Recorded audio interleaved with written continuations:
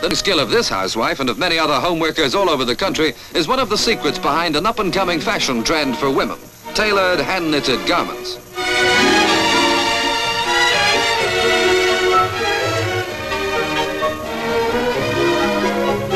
From the knitting needles to the workrooms of West End designer Madame Madeleine, one of the leading exponents of the new style.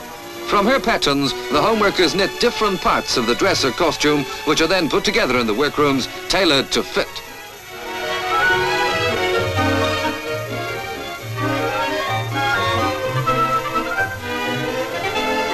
It will take something like five hours to pleat this hand-knitted skirt. Finished and put with a similarly made coat, the complete costume will be a typical tailored hand knit. Long popular in America, the idea is now becoming popular in this country.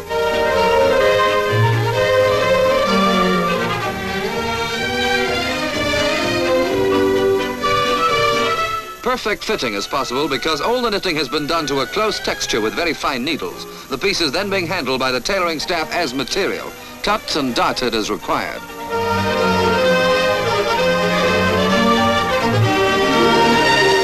And here's the finished costume. You could call it a triumph of combined operations.